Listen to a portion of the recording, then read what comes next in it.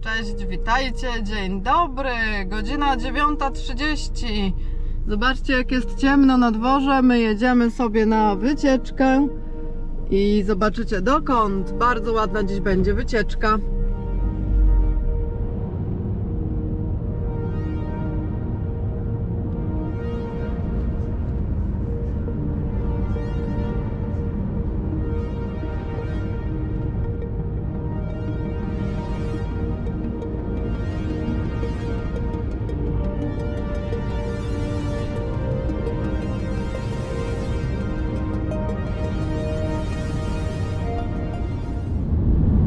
Wiem, czy widać, ale tam jest Kweragerdi.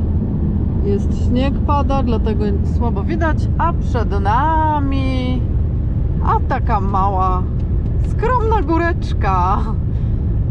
Wcale nie jest skromna, jest duża. Jest dość stroma, zakręty są, także my sobie będziemy teraz powolutku zjeżdżać w trybie 4 na 4 żeby w jakiś zakręt tutaj poślizg nie wpaść. O, już teraz zrobili te ograniczenia, że gdyby ktoś wyjechał, kiedyś tego nie było.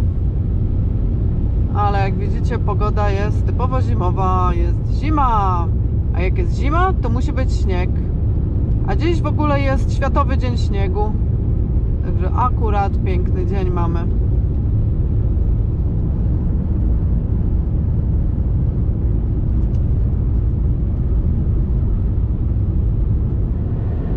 No, jak widzicie, zrobiło już się jaśniej. My sobie jedziemy już drogą w bok. Zjechaliśmy z głównej, także w kierunku wodospadu. Gdzieś za jakieś 40 minut pewnie będziemy na wodospadzie. Ja będę robić dla Was za chwilę live'a, także nie będzie tutaj nagrane to wszystko. Zobaczymy, jak to ogarnę. No, a reszta prawdopodobnie będzie nagrana w live, także będziecie musieli sobie odtworzyć live'a. Mam nadzieję, że internet nie będzie przerywał. Wytestujemy, jak działa sieć nowa. Tak, kochani, dla Was był live jeden i właśnie takie będą wejścia, wyjścia. E, wiem, że tutaj nie widać wszystkiego, bo to jest filmik. No, ale tak, oglądajcie, śledźcie te live'y. E, Będą w YouTubie do zobaczenia chyba już troszeczkę później po tych live'ach, bo takie wgrywanie, nagrywanie to i tak nic nie daje, a my jedziemy no, na ten na wodospad, tak jak mówiłam, spać mi się strasznie zachciało, więc gadam bez sensu. E, zobaczcie jeszcze jaka jest droga przed nami. Taka jest droga przed nami, pada śnieg i będzie padało, cały dzień ma padać. No. I to tyle z tej drogi na razie. Cześć, cześć, dzień dobry, witajcie. Kolejny dzień dzisiaj po wycieczce już. E, Nie nagrywałam filmu, bo widzicie, nie dało się, były live'y.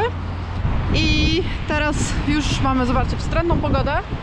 Jest ciemno, ale ja idę do sklepu mojego ulubionego rybnego Sundlaugavegur 12. Także ci, co mnie oglądacie na Islandii, koniecznie zajdźcie tam, ponieważ oni naprawdę mają bardzo duży wybór świeżej ryby. W każdym rybnym jest świeża, ale naprawdę mają świeżą. I przede wszystkim cenowo fajnie stoją. Są jakby trochę niżej i bardzo miła obsługa jest, także ja zawsze tam chodzę. No i słuchajcie, e, co chciałam powiedzieć, to, że wczoraj się dość mocno zmęczyłam. Jak przyjechałam do domu, padłam. Po prostu siedziałam na sofie i fajnie, że miałam moją zupę w słoiku. Zupę e, mięsną, kijotsupę w słoiku, bo naprawdę padłam wczoraj po tej wycieczce. I, i poszłam też wcześniej spać, więc dzisiaj się nawet dość wcześnie obudziłam, bo po dziewiątej.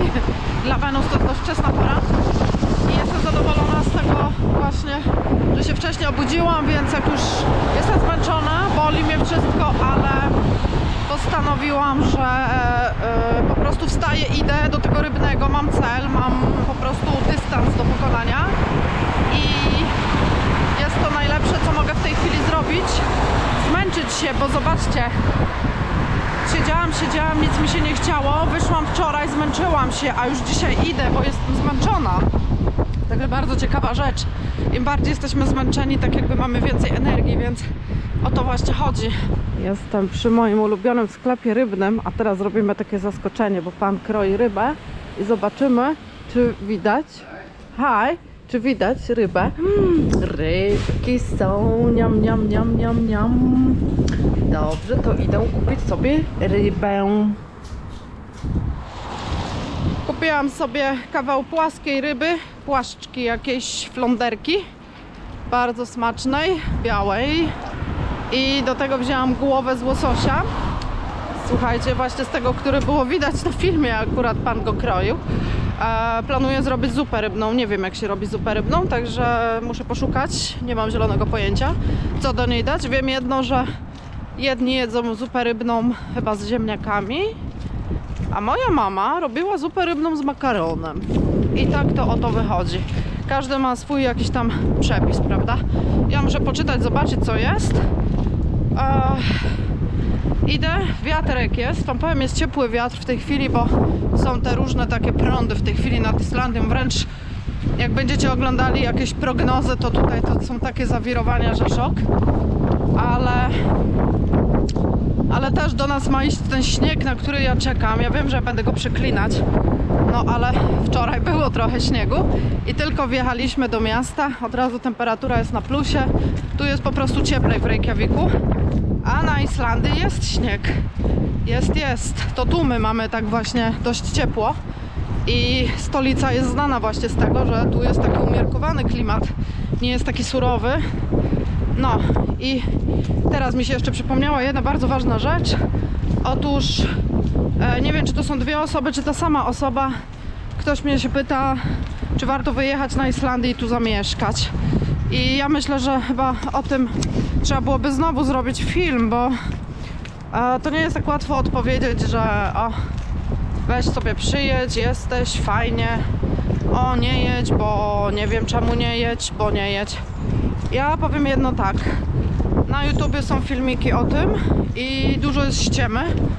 U mnie zawsze tak jak jest, faktycznie, na prawdziwo, bez pudru. I ja każdemu zostawiam podjęcie decyzji osobiście. Ja nie pracuję, ja jestem na rencie, więc moje życie wygląda zupełnie inaczej jak osób, które pracują które spotykają się z ludźmi dookoła, mają znajomych, dajmy na to. Ja też jestem introwertykiem, więc nie jestem ekstrawertykiem, więc nie mam pogoni za e, tłumem, ale chodzi o to, że trzeba dużo rzeczy zobaczyć.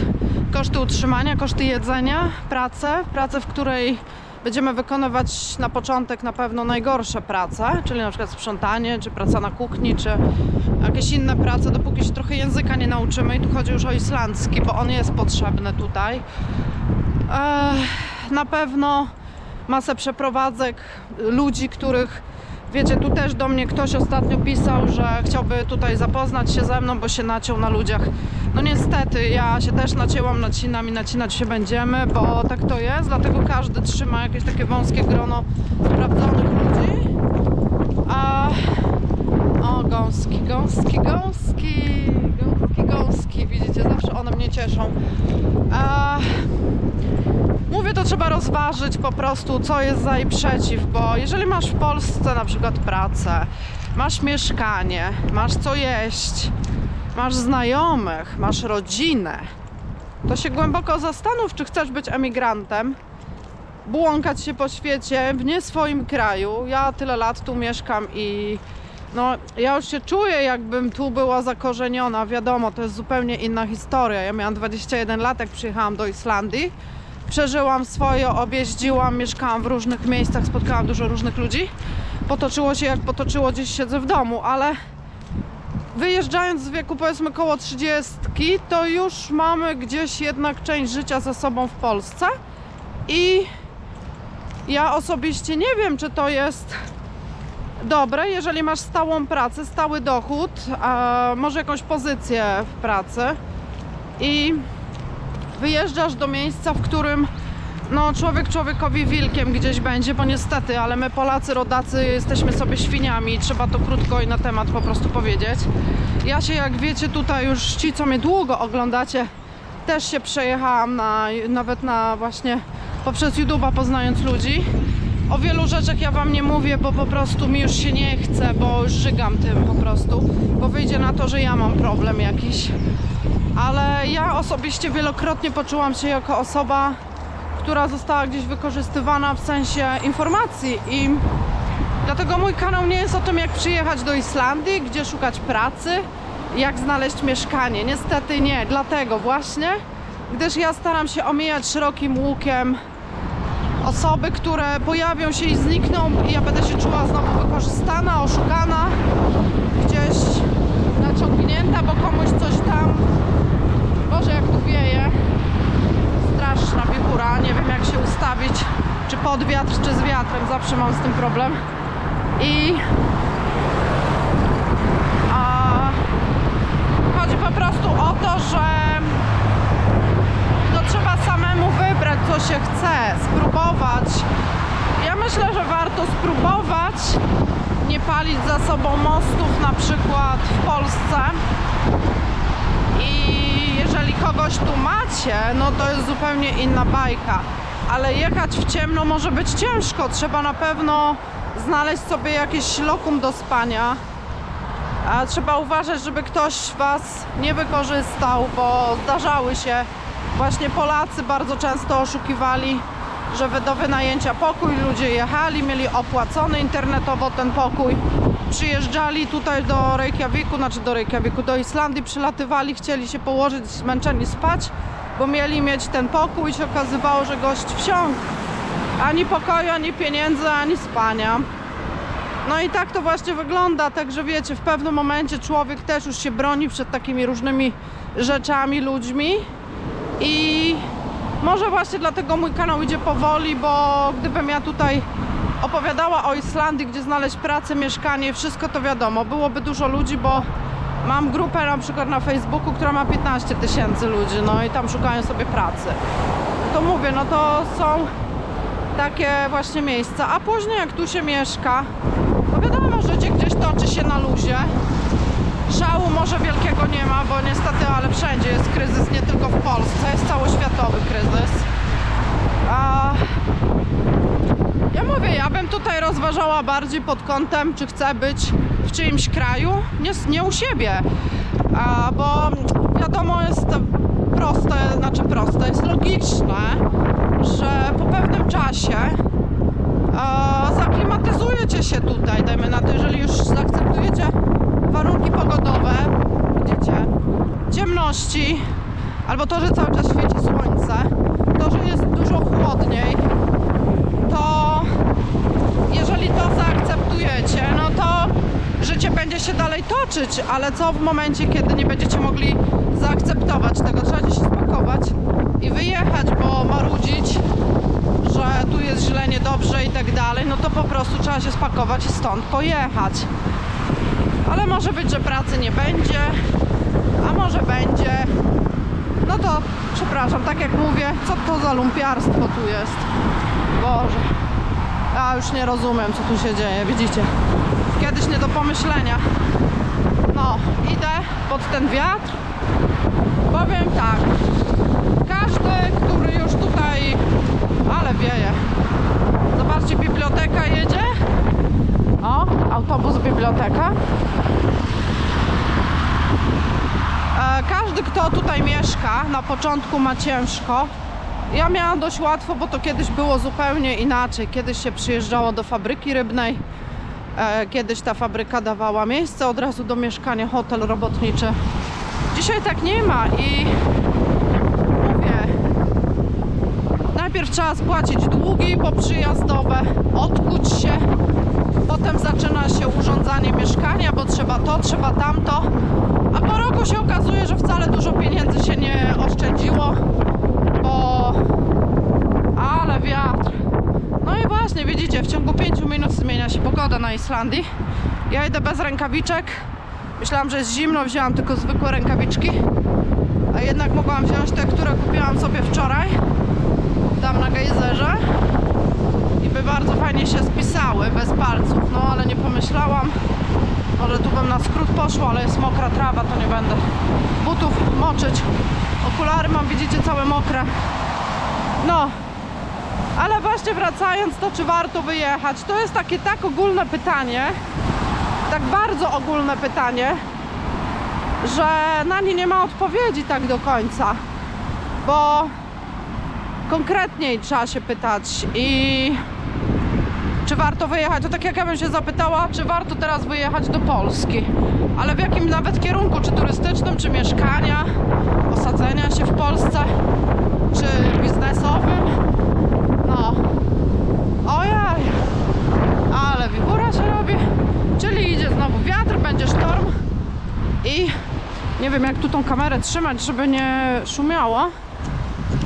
Oczywiście do tej kamery dalej przez tyle czasu już nie ma mikrofonu, chociażbym bardzo chciała ten mikrofon mieć, ale jest też drogi ten mikrofon, także właśnie przed chwilą zostałam zmuszona do kupienia słuchawki do telefonu, bo wczoraj zgubiłam e, na naszej wycieczce gumkę, która do uszu po prostu wchodzi i nie mam tych gumek i zamiast kupować nową gumkę, to kupiłam po prostu całe nowe słuchawki do telefonu. I powiem wam, że dźwięk jest super. Dużo lepszy jak w tamtych. Także widzicie tak to wygląda. No i w Polsce też wiadomo pracujemy. No to w pewnym momencie też możemy sobie kupić dużo większy wybór rzeczy. Jest w Polsce możemy dużo więcej rzeczy kupić. Tu takiego wyboru nie ma. Także jak ktoś chce że tak powiem jest takim fashion, fashion czyli takim lubi się modnie ubrać i wybrać no to raczej tutaj będzie ciężko bo już nawet nie chodzi o to, że ubrania są drogie i nie dostanie tego, co by chciał, to e, na dodatek pogoda, tak jak widzicie. Idę teraz i mam tu w dupie, jak ja wyglądam, czy mam kaptur na czapce. Po prostu mi jest zimno i zakładam takie, żeby mi było wygodnie. Tutaj jest moda, aby było wygodnie i ciepło i szybko można było zdjąć lub dołożyć.